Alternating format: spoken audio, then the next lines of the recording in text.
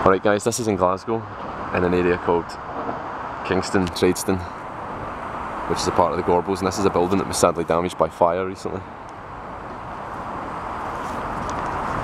Which is a real shame, because it's a beautiful building.